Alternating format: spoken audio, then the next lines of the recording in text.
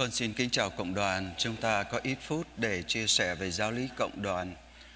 Ngày hôm nay chúng ta vẫn tiếp tục về phần phụng vụ các bí tích và chúng ta đã đi qua gọi là phần chung về các bí tích cũng như á bí tích. Ngày hôm nay chúng ta sẽ đi vào phần uh, chuyên biệt hơn. Ngày hôm nay những câu hỏi được đặt ra là việc khai tâm Kitô giáo được thực hiện như thế nào? Trước hết à, lần trước con nhắc lại thôi. À, Có hai cách chia gọi là các bí tích khai tâm. Cách chia thứ nhất bao gồm bốn bí tích Rửa tội, thêm sức, giải tội và thánh thể. Và ba bí tích còn lại được gọi là bí tích chuyên biệt. Cách chia thứ hai là bí tích rửa tội, bí tích thêm sức và bí tích thánh thể được gọi là các bí tích khai tâm. Các bí tích chữa lành bao gồm bí tích hòa giải và bí tích sức giàu bệnh nhân. Và hai bí tích còn lại là bí tích chuyên biệt, tức là bí tích truyền chức thánh và bí tích hôn phối. Theo chương trình của giáo sứ thì chúng ta sẽ đi theo cách chia thứ hai. Các bí tích khai tâm bao gồm các bí tích rửa tội, thêm sức và thánh thể. Và các bí tích này đặt nền tảng cho đời sống của người Kitô hữu các tên gọi của bí tích đầu tiên tức là bí tích rửa tội trong việc khai tâm Kitô giáo là gì? Khi nói đến rửa tội thì chúng ta nhìn ngay đến chữ rửa. Rửa lấy cái gì để rửa? Thì trong truyền thống của đời sống dân sự hay là đời sống chung, chúng ta thấy thông thường khi nói đến rửa thì chúng ta lấy nước để rửa. Nhưng theo ý nghĩa của trong đời sống Kitô giáo Nước bắt nguồn từ chính trong cựu ước. Cụ thể nước lụt đại hồng thủy Thiên Chúa đã tẩy rửa Ngài dùng nước để tẩy rửa những điều gọi là nhơ bẩn à, lan tràn trong đời sống của con người. Hình ảnh thứ hai nước cũng nói đến là việc khi Thiên Chúa cứu dân Ngài ra khỏi đất Ai Cập Thì việc đi qua biển đỏ cũng là một cách để nhắc nhở qua qua việc đi qua biển đỏ ấy Thiên Chúa tẩy rửa dân người. Và trước khi bước vào đất hứa tức là vào miền đất mà à, Abraham, Isaac, Jacob được Thiên Chúa hứa là phần đất gia nghiệp cho dân của Ngài thì để bước vào đất ấy một lần nữa dân phải đi qua nước. Cụ thể ở đây chính là dòng sông Jordan để một lần nữa được thánh tẩy để dân bước vào trong miền đất hứa một cách xứng đáng. Và do đó, chính trong tân ước, một lần nữa nước được dùng là dấu chỉ hay là biểu tượng một cách cụ thể để tẩy rửa con người sạch tội lỗi qua bí tích mà Đức Kitô thiết lập. Bí tích rửa tội được diễn tả bằng những hình ảnh tượng trưng nào trong cựu ước như con vừa thưa đó chính là à, tàu Noe rồi vượt qua biển đỏ và vào dòng sông Jordan. Ai đã kiện toàn những hình ảnh tượng trưng đó thưa chính là Đức Kitô. Trên thập giá khi người lính cầm lưỡi đồng hay lưỡi giáo đâm vào cạnh sườn Đức Giêsu thì nước và máu chảy ra nếu nói một cách chung nhất, bảy bí tích do chính Đức Kitô thiết lập và từ đâu? Thưa từ nguồn mạch bên cạnh sườn Đức Giêsu và bí tích rửa tội một cách rõ ràng nhất, nước và máu chảy ra từ cạnh nương long của Đức Kitô làm cho chúng ta được tẩy rửa để xứng đáng trở thành con cái của Ngài trong đời sống vĩnh cửu và do đó chính cái chết của Đức Kitô tức là tất cả những gì thuộc về Ngài, nước và máu biểu trưng cho cả thần tính và nhân tính Đức Kitô được tuôn đổ ra để tẩy rửa chúng ta. Hội thánh ban bí tích rửa tội cho những ai và từ bao giờ? Sau biến cố lễ ngũ tuần, tức là khi Thánh thần Thiên Chúa ngự xuống trên các tông đồ trong phòng tiệc ly. Sau biến cố ấy, các tông đồ mở cửa ra và công bố tin mừng phục sinh. Và sau đó chúng ta đọc thấy trong sách công vụ tông đồ các tông đồ đã làm phép rửa cho những người hiện diện hay là muốn à, được lãnh nhận bí tích thánh tẩy ấy. Và những người nào muốn được lãnh nhận bí tích thánh tẩy phải có một điều kiện đầu tiên và duy nhất buộc phải tin vào Đức Kitô thì việc lãnh nhận bí tích rửa tội mới thành sự và do đó, điều kiện là tất cả mọi người đều được lãnh nhận bí tích rửa tội, nhưng với điều kiện phải tin vào Đức Kitô. Con xin cảm ơn cộng đoàn.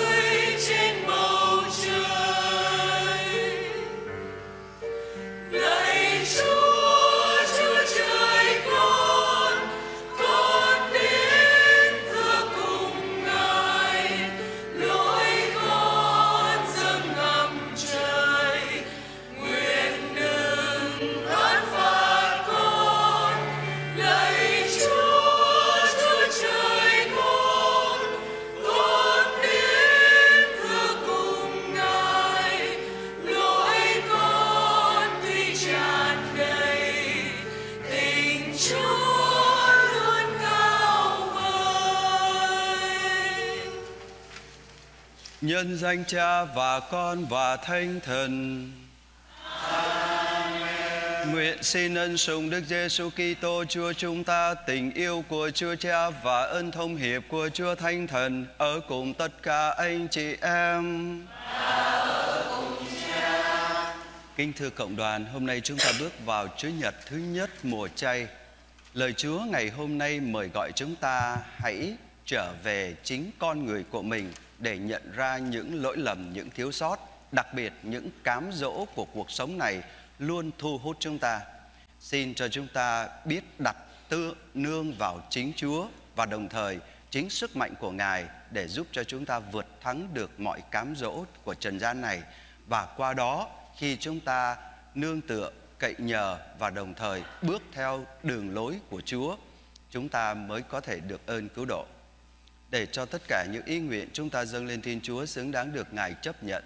Giờ đây chúng ta thành tâm thống hối những lỗi lầm để xứng đáng cử hành bầu nhiệm thánh. Tôi thu nhận cùng Thiên Chúa toàn năng.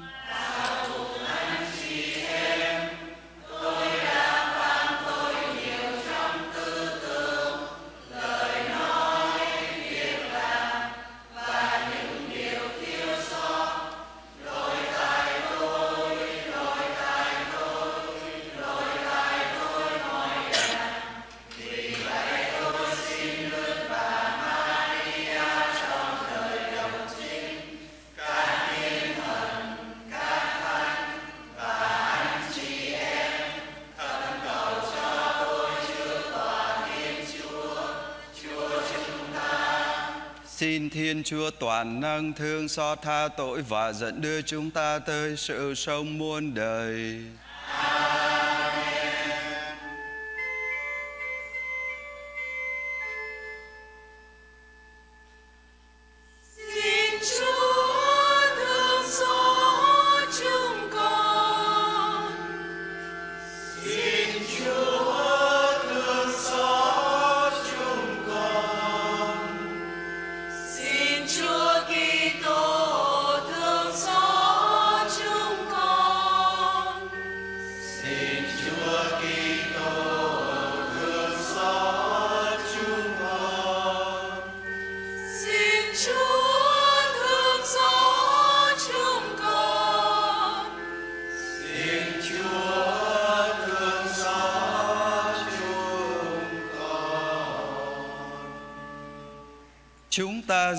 Lời cầu nguyện. Lạy Thiên Chúa toàn năng, hàng năm Chúa ban cho chúng con 40 ngày chay thánh để tôi luyện hồn xác chúng con. Xin giúp chúng con sống những ngày khắc khổ ấy để học biết Đức Kitô và dõi theo gương người, hầu xứng đáng hưởng ơn cứu độ người ban. Người là Thiên Chúa hàng sông và hiên trị cùng Chúa, hiệp nhất với Chúa Thánh Thần đến muôn thuở muôn đời.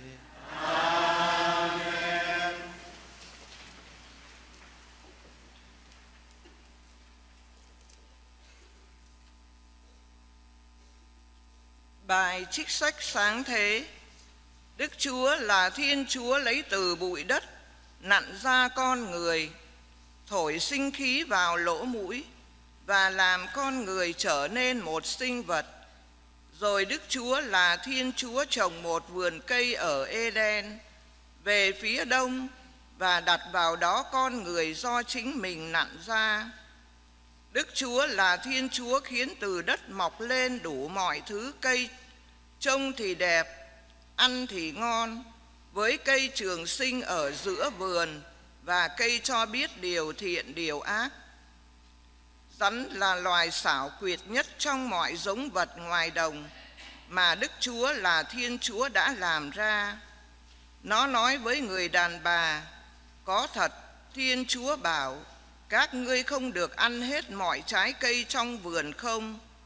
Người đàn bà nói với con rắn, trái các cây trong vườn thì chúng tôi được ăn. Còn trái trên cây ở giữa vườn thiên chúa đã bảo các ngươi không được ăn không được động tới. Nhưng thiên chúa biết ngày nào ông bà ăn trái cây đó mắt ông bà sẽ mở ra và ông bà sẽ nên như những vị thần biết điều thiện điều ác người đàn bà thấy trái cây đó ăn thì ngon trông thì đẹp mắt và đáng quý vì làm cho mình được tinh khôn. Bà liền hái trái cây mà ăn, rồi đưa cho cả chồng đang ở đó với mình. Ông cũng ăn. Bấy giờ mắt hai người mở ra, và họ thấy mình trần truồng. Họ mới kết lá vả, làm khố che thân. Đó là lời Chúa.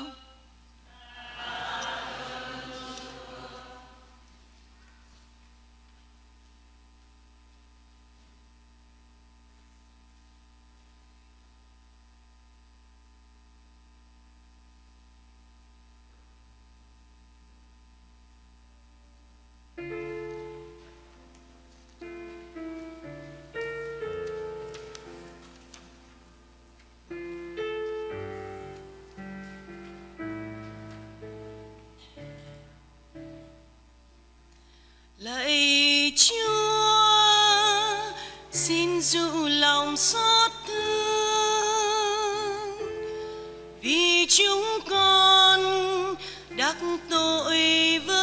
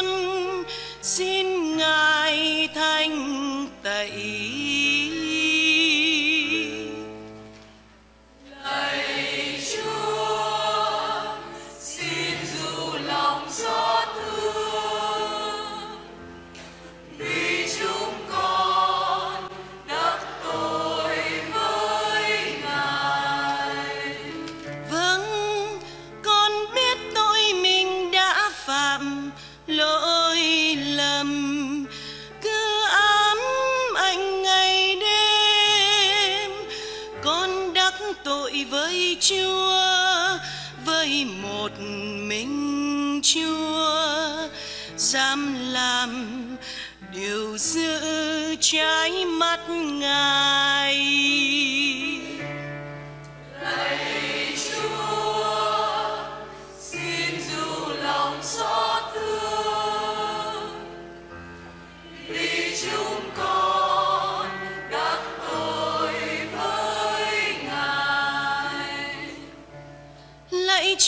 Trời. Xin tạo cho con một tấm lòng trong trắng đổi mới tinh thần. Cho con nên trung thủy xin đừng nỡ đuổi con, không cho gần nhàn thanh. Đừng cất khỏi lòng con thần khí thánh của ngài.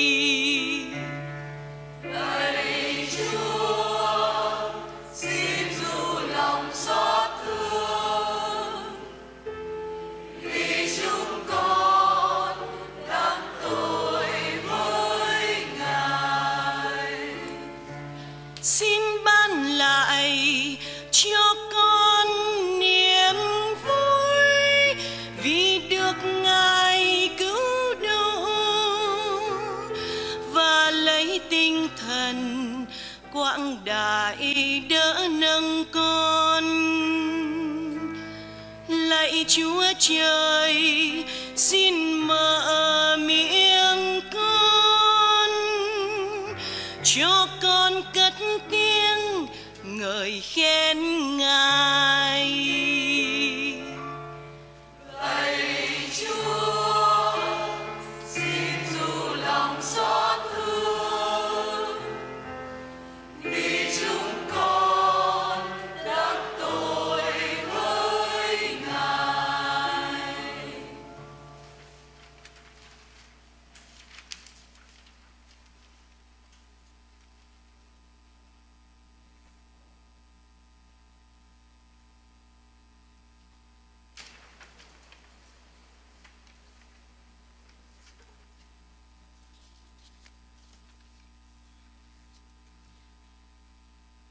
Bài trích thư của Thánh Phaolô tông đồ gửi tín hữu Roma. Thưa anh em, vì một người duy nhất mà tội lỗi đã xâm nhập trần gian và tội lỗi gây nên sự chết. Như thế, sự chết đã lan tràn tới mọi người bởi vì mọi người đã phạm tội. Trước khi có lề luật, đã có tội lỗi ở trần gian. Nhưng nếu không có luật, thì tội không bị kể là tội. Thế mà, từ thời Adam đến thời Môsê, sự chết đã thống trị cả những người đã không phạm tội bất tuân lệnh Thiên Chúa như Adam đã phạm. Adam là hình ảnh đấng sẽ tới. Nhưng sự sa ngã của Adam không thể nào sánh được với ân huệ của Thiên Chúa. Thật vậy, nếu vì một người duy nhất đã sa ngã mà muôn người phải chết, thì ân sủng của Thiên Chúa ban nhờ một người duy nhất là Đức Giêsu Kitô còn dồi dào hơn biết mấy cho muôn người. Ơn Thiên Chúa ban cũng khác với hậu quả do một người phạm tội đã gây ra. Quả thế, vì một người duy nhất phạm tội, con người đã bị xét xử để phải mang án. Còn sau nhiều lần xa ngã, thì lại được Thiên Chúa ban ơn cho trở nên công chính. Nếu chỉ vì một người, một người duy nhất xa ngã mà sự chết đã thống trị, thì điều Thiên Chúa làm qua một người duy nhất là Đức Giêsu Kitô lại còn lớn lao hơn biết mấy. Quả vậy, những ai được Thiên Chúa ban ơn sủng dồi dào và cho trở nên công chính thì sẽ được sống và được thống trị. Tóm lại, cũng như vì một người duy nhất đã xa ngã mà mọi người bị Thiên Chúa kết án, thì nhờ một người duy nhất đã thực hiện lẽ công chính, mọi người cũng được Thiên Chúa làm cho nên công chính, nghĩa là được sống. Thật vậy, cũng như vì một người duy nhất đã không vâng lời Thiên Chúa mà muôn người thành tội nhân, thì nhờ một người duy nhất đã vâng lời Thiên Chúa, muôn người cũng sẽ thành người công chính. Đó là lời Chúa.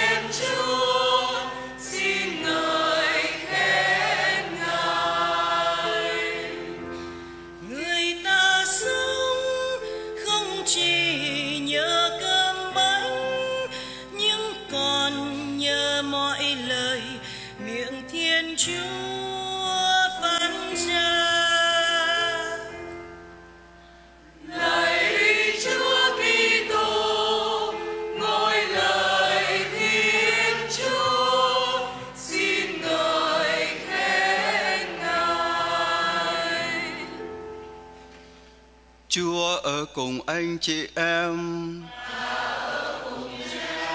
Tin mừng Chúa Giêsu Kitô theo Thánh Ma-theo.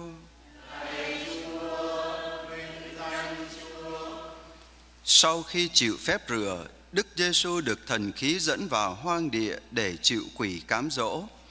Người ăn chay ròng rã 40 đêm ngày và sau đó người thấy đói. Bấy giờ, tên cám dỗ đến gần người và nói: nếu ông là con Thiên Chúa thì truyền cho những hòn đá này hóa bánh đi. Nhưng người đáp: Đã có lời chép rằng người ta sống không chỉ nhờ cơm bánh nhưng còn nhờ mọi lời miệng Thiên Chúa phán ra.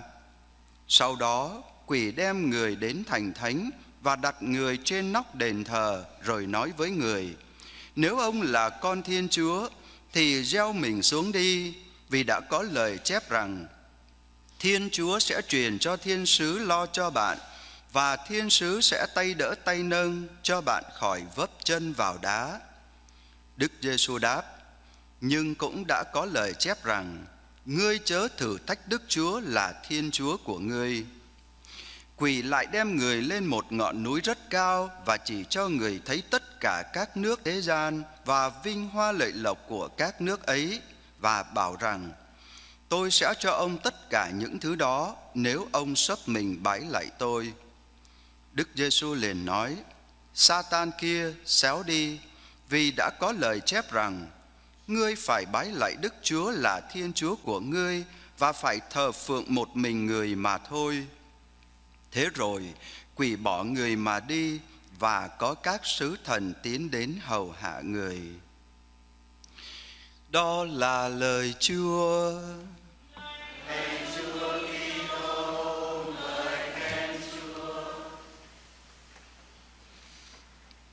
Kinh thưa cộng đoàn, trình thuật tin mừng chúng ta vừa nghe nói về ba cơn cám dỗ mà Satan cám dỗ Đức Giêsu và trong một khung cảnh mà ở đó không ai muốn cả.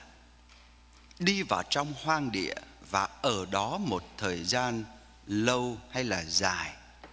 Và con không nói đến những con số biểu trưng trong Kinh Thánh, nhưng chỉ cho chúng ta thấy là một thời gian Đức Giêsu trải qua một sự thinh lặng. Thinh lặng để làm gì? Thinh lặng để đọc ra được thánh ý Thiên Chúa và sứ vụ mà Ngài sẽ phải thực hiện. Bên cạnh đó, sau thời gian gọi là ở trong sa mạc như vậy, Đức Giêsu cảm thấy đói. Chúng ta để ý một yếu tố, thứ nhất, đói. Khi người ta đói hay là thèm muốn, hay là khao khát. Trong ý nghĩa kinh thánh, bài tin mừng chúng ta vừa nghe đều như nhau. Khi người ta thấy đói, người ta khao khát, thèm muốn, ước mong, hy vọng một điều gì đó, thì người ta cố gắng để có thể đạt được điều đó.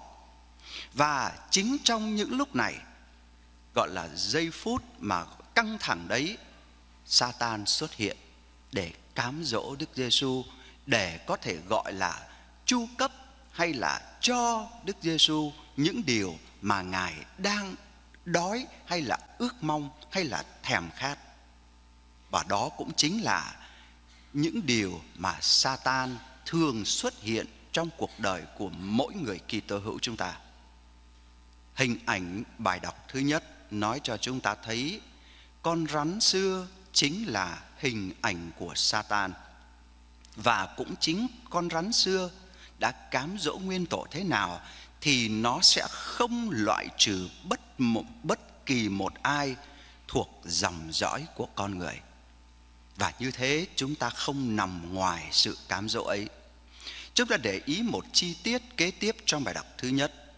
Khi con rắn nói với Eva, trái cây ở giữa vườn là một thứ giúp cho hai ông bà có thể mở mắt ra và nhìn thấy hay biết được điều tốt, điều xấu, điều thiện, điều ác. Và nếu chúng ta nhìn sâu hơn trong ngữ nghĩa của Kinh Thánh chỗ này, chúng ta sẽ thấy chỉ duy nhất một mình Thiên Chúa, Ngài là chủ thời gian và không gian và Ngài biết tất cả những gì là xấu, là tốt. Và chúng ta thấy quay ngược trở lại một chút nữa trong chương thứ nhất và chương thứ hai. Khi Ngài tạo dựng vũ trụ, trong đó có con người, Ngài luôn luôn làm những điều tốt chứ không phải điều xấu. Và Ngài loại trừ những cái gì gọi là xấu ra khỏi thế giới hiện hữu ấy. Nhưng con người không chấp nhận và với lời cám dỗ của con rắn, con người đã bước theo lời cám dỗ ấy. Một chi tiết nữa chúng ta để ý, sau lời cám dỗ của con rắn, Eva thấy rằng điều nó nói thật là hợp lý và trái cây bị cấm ấy là một thứ đẹp. Đẹp mắt ăn thì ngon và đấy là cám dỗ vô cùng hấp dẫn.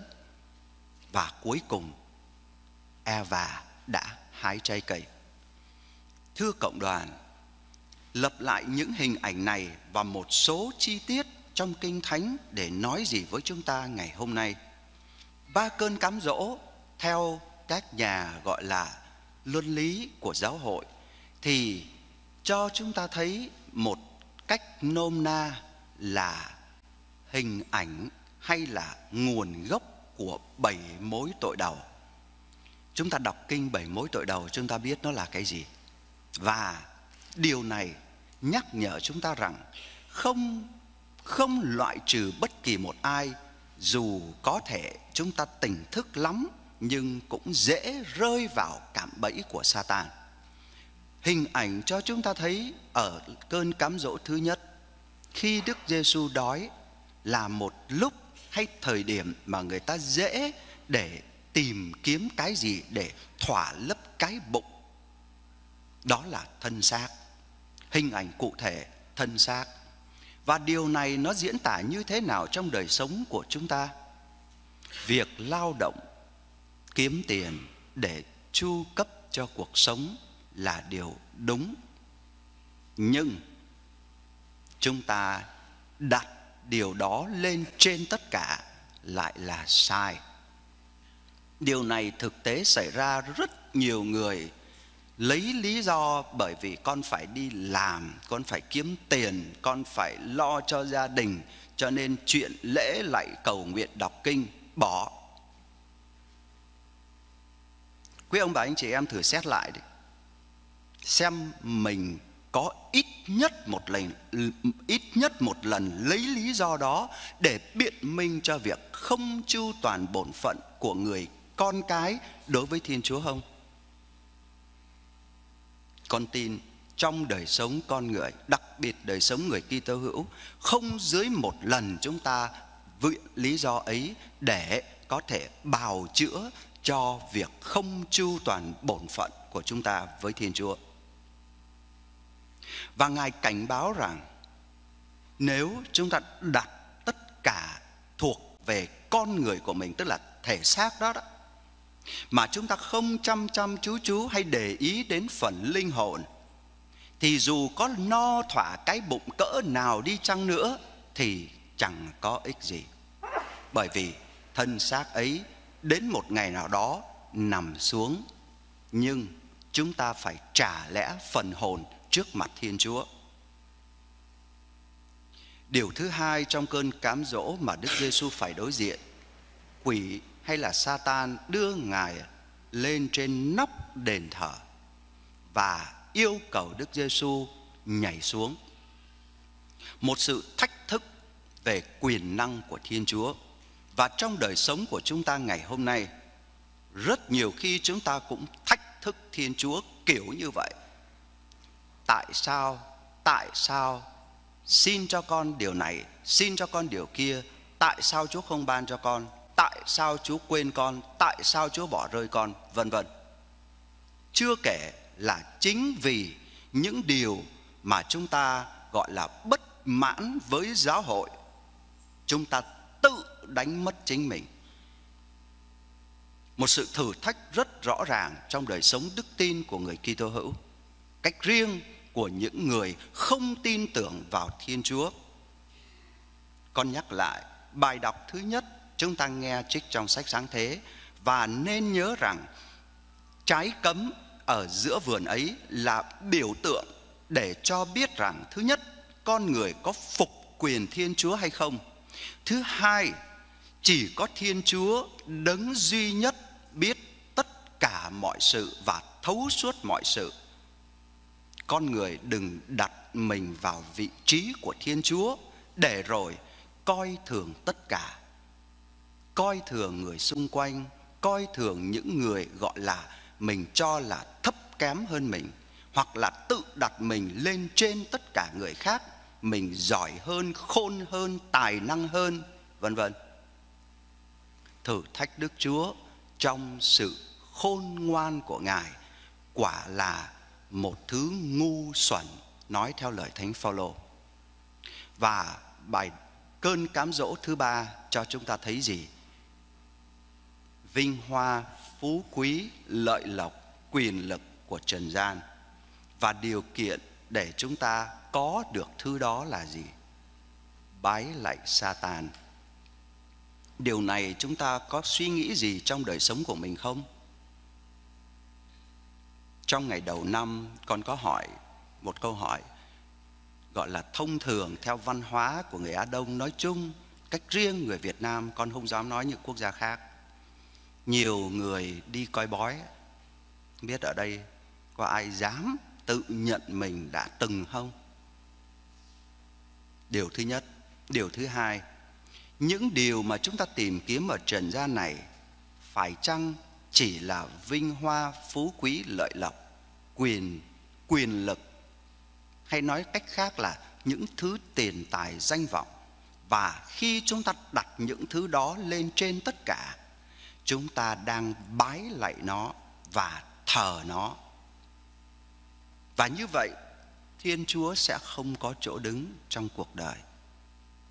Và như thế, tức là một lần nữa chúng ta đang lập lại hình ảnh của adam, eva khi chúng ta nghe theo lời dụ dỗ của satan.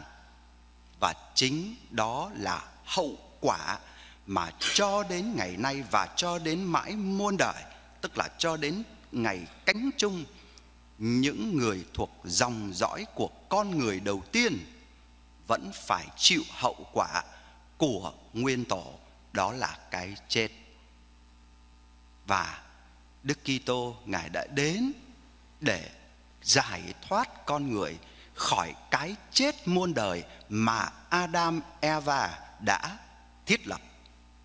Ngài đã vượt qua cái chết ấy để bước vào cõi sống và những ai tin tưởng và đồng thời bước theo đường lối của Ngài, người đó mới có được sự sống. Xin cho người Kitô hữu chúng ta, những ai tin vào Đức Kitô và lắng nghe cũng như thực thi những lời mà Đức Kitô truyền dạy, những người đó hy vọng và trong niềm hy vọng của toàn thể giáo hội, con đường đó là con đường dẫn đến sự sống bởi vì Ngài chính là đường, là sự thật và là sự sống và ai tin vào Ngài sẽ không phải chết muôn đời. Và nếu như chúng ta giữ được điều này trong suốt hành trình trần gian của cuộc đời chúng ta, ắt hẳn chúng ta sẽ được Thiên Chúa cứu độ.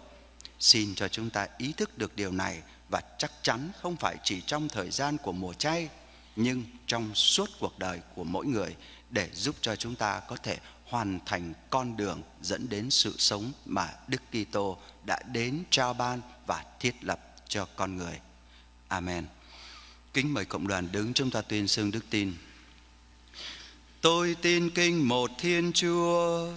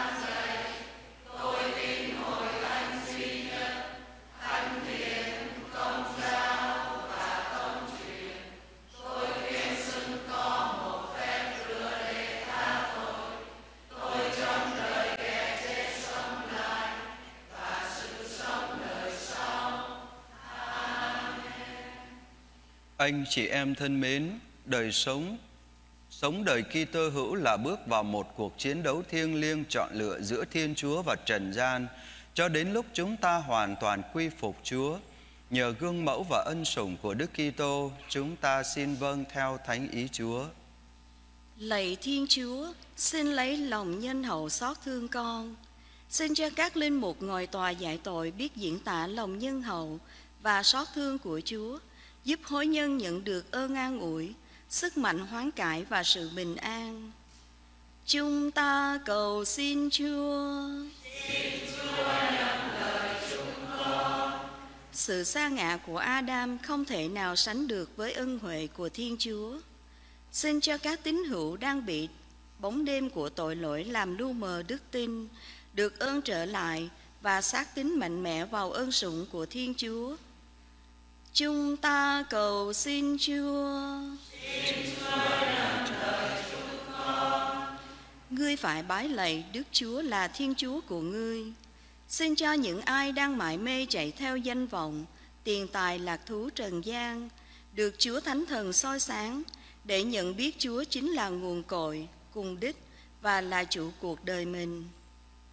Chúng ta cầu xin Chúa. Người ta sống không chỉ nhờ cơm bánh, nhưng còn nhờ mọi lời miệng Thiên Chúa phán ra. Xin cho cộng đoàn chúng ta biết năng lắng nghe và sống theo lời Chúa, để được Chúa dẫn dắt trong chân lý và tình yêu, hầu nhận được bình an hôm nay và hạnh phúc mai sau. Chúng ta cầu xin Chúa. Xin chúa nghe lời chúng ta. Giờ đây, với ít giây thinh lặng, chúng ta dâng lên Chúa những lời nguyện thầm kín của mỗi cá nhân, gia đình và giáo xứ. Đặc biệt xin Chúa ban ơn và nâng đỡ đức tin cho mỗi chúng ta. Chúng ta cầu xin Chúa. Lạy Chúa, có những lần chúng con đã chọn lựa sai lầm và phạm tội mất lòng Chúa. Xin Chúa thứ tha và ban ơn nâng đỡ, giúp chúng con trung thành làm theo ý Chúa và hân hoan bước đi trên con đường trọn lành. Chúng con cầu xin nhờ Đức Kitô Chúa chúng con. Amen.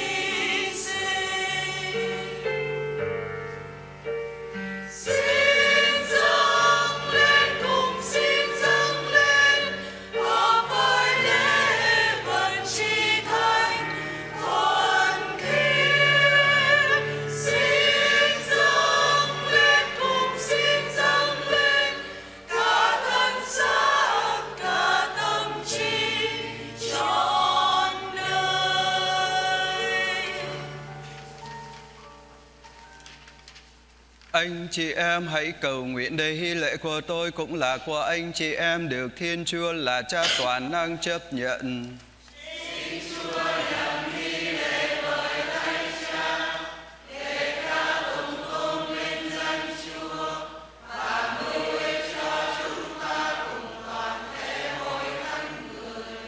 Lạy Chúa, hôm nay là Chúa Nhật đầu mùa chay thanh, chúng con dâng lên Chúa những lễ vật này.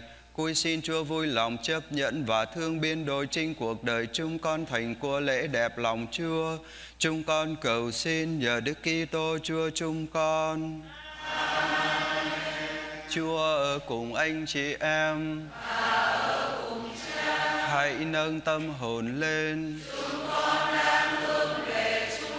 Hãy tạ ơn Chúa là Thiên Chúa chúng ta. Lạy Cha Chi Thanh là Thiên Chúa toàn năng hằng hữu, chúng con tạ ơn Cha mọi nơi mọi lúc nhờ Đức Kitô Chúa chúng con thật là chính đang phải đạo và sinh ơn cứu độ cho chúng con. Khi nhịn ăn 40 đêm ngày, người đã nêu gương chay tịnh và khi pha vỡ mưu chưa của con rắn xưa, người dạy chúng con thăng mọi cơn cam dỗ, để khi cử hành mầu nhiệm vượt qua với tâm hồn trong sạch, chúng con có thể tới dự lễ vượt qua muôn đời. Vì thế hiệp với toàn thể thiên thần và các thanh chúng con không ngừng hát bài ca chúc tụng cha mà tung hô rằng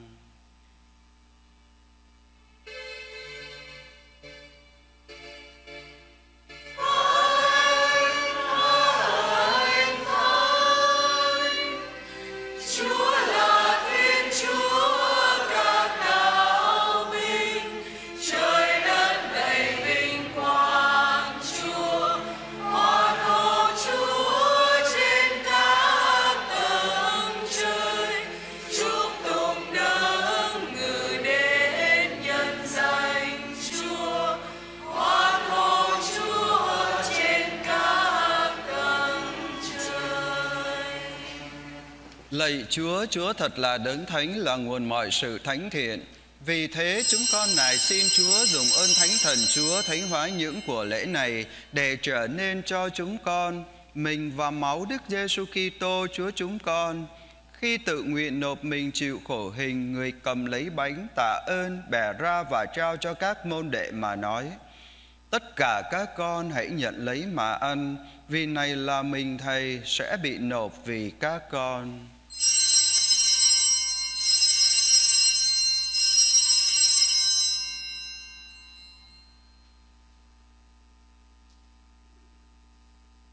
Cùng một thể thức ấy, sau bữa ăn tối, người cầm lấy chén cũng tạ ơn trao cho các môn đệ mà nói. Tất cả các con hãy nhận lấy mà uống, vì này là chén máu Thầy, máu giao ước mới và vĩnh cửu sẽ đổ ra cho các con và nhiều người được tha tội. Các con hãy làm việc này mà nhớ đến Thầy.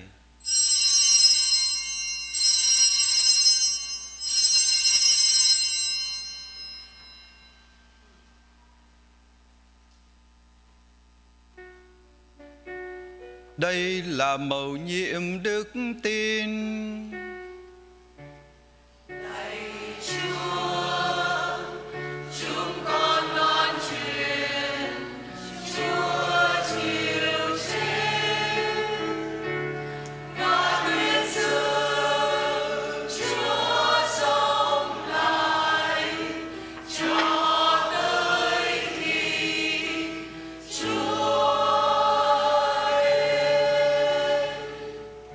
Vậy lạy Chúa, khi kính nhớ con Chúa chịu chết và sống lại, Chúng con dâng lên Chúa bánh trường sinh và chén cứu độ để tạ ơn Chúa. Vì Chúa đã thương cho chúng con được xứng đáng hầu cận trước tôn nhan và phụng sự Chúa. Chúng con tha thiết nài xin Chúa cho chúng con khi thông phần mình và máu Đức Kitô, được quy tụ nên một nhờ Chúa Thánh Thần. Lạy Chúa, xin nhớ đến hội thánh Chúa lan rộng khắp hoàn cầu để kiện toàn hội thánh trong đức mến cùng với Đức Giáo Hoàng Francisco, Đức Giám mục Michael chúng con và toàn thể hàng giáo sĩ.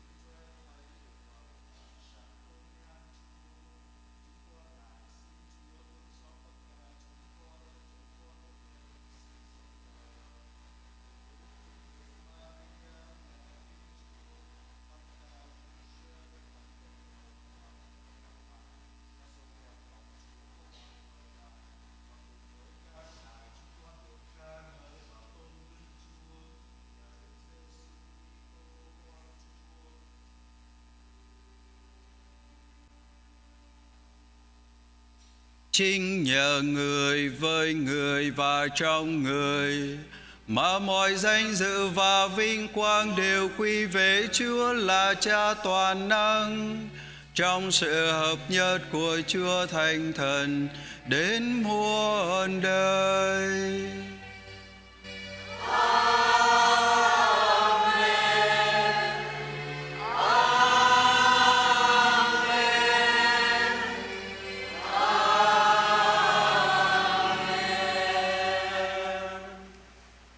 Lệnh Chúa cứu thế và theo thế thức người dạy chúng ta giam nguyện rằng.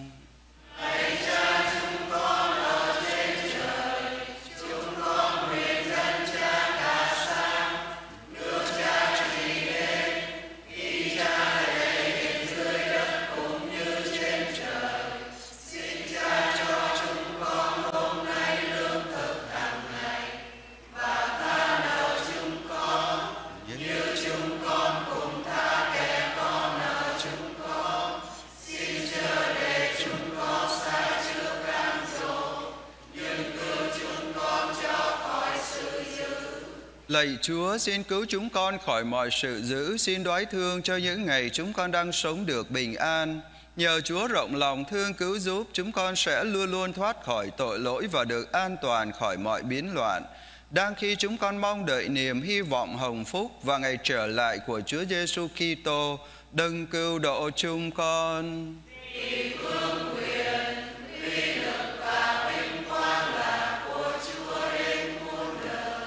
Lạy Chúa Giêsu Kitô, Chúa đã nói với các tông đồ rằng Thầy để lại bình an cho các con, Thầy ban bình an của Thầy cho các con.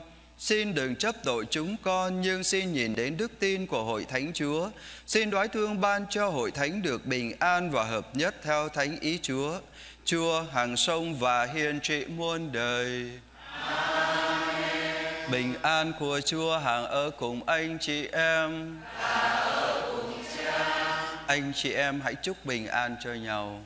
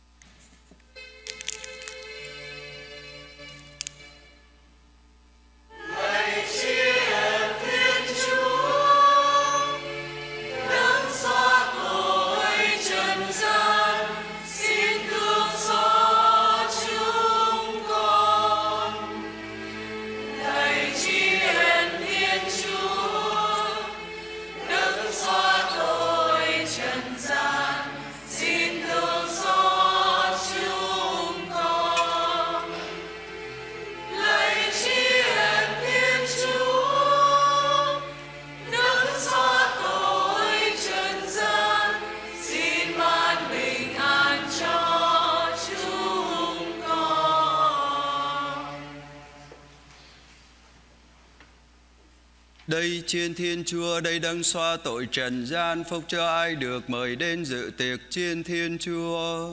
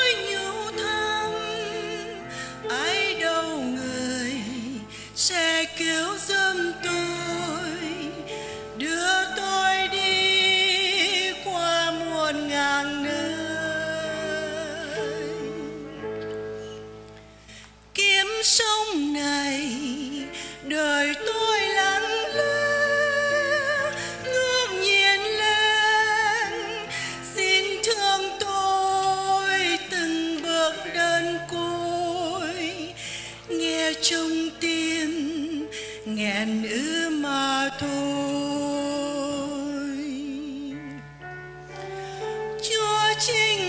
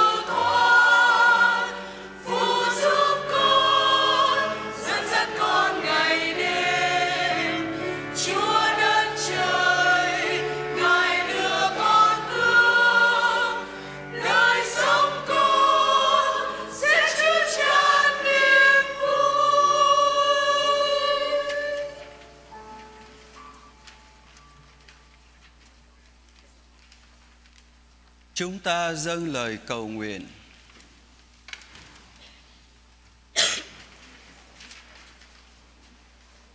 Lạy Chúa, Chúa đã thương lấy bánh bởi trời nuôi dưỡng chúng con, làm cho đức tin thêm mạnh mẽ, đức cậy được vững vàng, đức mến hằng tha thiết. Xin dạy chúng con biết khao khát tìm kiếm Đức Kitô là bánh trường sinh đích thực và biết lấy lời Chúa làm lương thực hàng ngày. Chúng con cầu xin nhờ Đức Kitô Chúa chúng con. Con xin thông báo à, ngày mùng 1 tháng 3 giáo sứ chúng ta sẽ bắt đầu cử hành 40 giờ chầu thánh thể theo lời đề nghị của Đức Giám mục Giáo phận. Và do đó xin quý ông bà anh chị em chúng ta cố gắng sắp xếp à, thời gian để tham dự một trong những giờ chầu này. Thứ thứ hai là chương trình BLA của giáo phận như đã thông báo cách đây ít nhất một tháng. Xin quý ông bà anh chị em cũng vui lòng chúng ta hy sinh và đồng thời đóng góp cho chương trình bác ái của giáo phận một cách cụ thể qua việc à, đóng góp cho chương trình BLA của Đức Giám mục Giáo phận. Và trong thời gian sắp tới chúng ta sẽ có nhiều sự việc cũng như cử hành nghi thức cũng như các sự kiện sẽ diễn ra trong giáo xứ chúng ta. Xin quý ông bà anh chị em vui lòng lấy bản tin giáo sứ để chúng ta biết chi tiết hơn và đồng thời cũng xin sắp xếp thời gian để tham dự các ngày cử hành phụng vụ cũng như các sự kiện sẽ diễn ra trong giáo sứ chúng ta trong thời gian sắp tới. Con xin cảm ơn cộng đoàn. Chúa ở cùng anh chị em. Xin Thiên Chúa toàn năng là Cha và Con và Thánh Thần ban phúc lành cho anh chị em. Thánh lễ đã xong, chúc anh chị em đi bình an.